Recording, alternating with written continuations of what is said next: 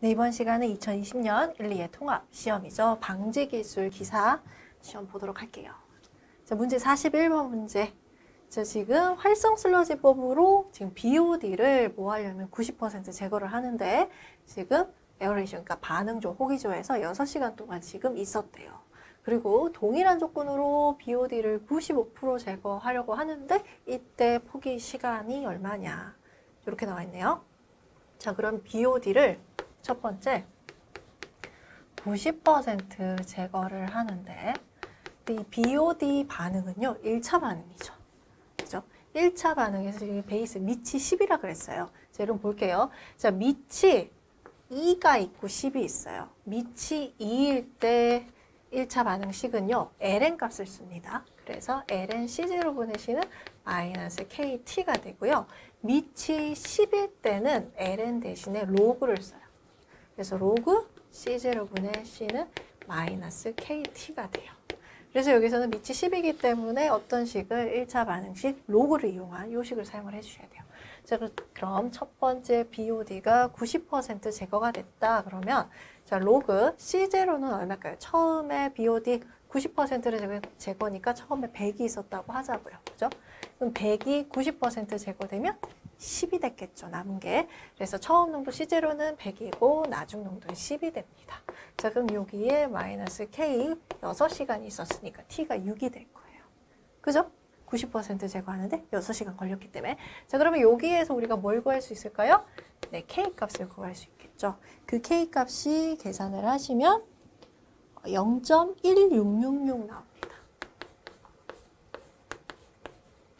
자, 그러면은 요걸 가지고 요번에는 요번에는 동일한 조건으로 BOD를 95% 제거하는데 우리가 구하는 게 요구되는 시간, 폭의 시간이에요. 자, 그럼 BOD 요번에는 95% 제거될 때 봅시다. 자, 95%가 제거된다는 얘기는 처음 농도가 100이었다가 90% 제거됐으니까 몇 프로 남았어요? 5 남았겠죠. 그죠? 그래서 농도 100에서 5가 될 때에 그때의 T 값을 구하시면 되는 거예요.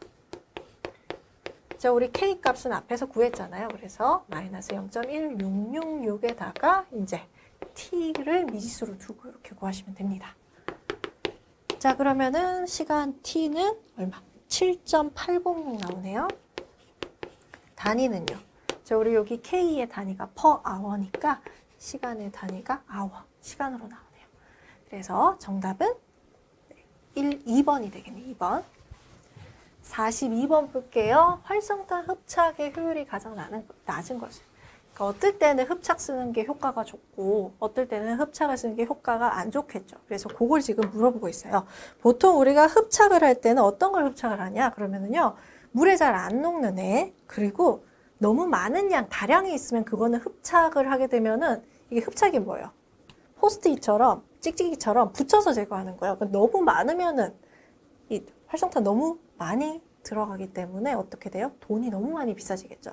그래서 그럴 때 쓰는 게 아니고 아주 소량의 미세한 걸 처리할 때 보통 흡착을 쓰게 돼요. 그래서 보면은 이제 물에 안 녹는 불포화 유기물, 뭐 소수성 물질, 그 다음에 맛이라든가 냄새, 색도 이런 거에 흡착을 쓰게 되고 일반적인 SS나 뭐 유기물 분해할 때는 미생물을 이용해서 생물학적 처리를 한다던가 아니면은 또 뭐 응집 침전을 한다든가 이런 식으로 하게 되는 거죠.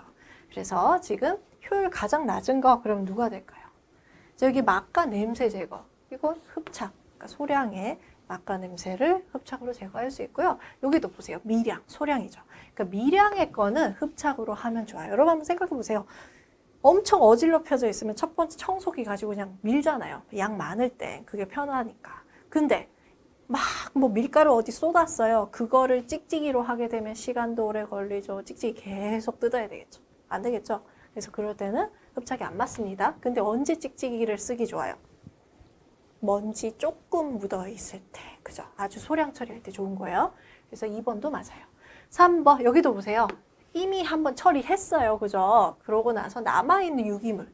그죠? 그러니까 한 번 1차 처리, 2차 처리하고 그 다음 또 한 번 처리가 필요할 때 그때 흡착 주로 쓰는 겁니다. 4번이 틀렸어요. 산업 폐수라든가 침출수 처리할 때는 다른 방법이 더 유리하죠. 그래서 4번 정답.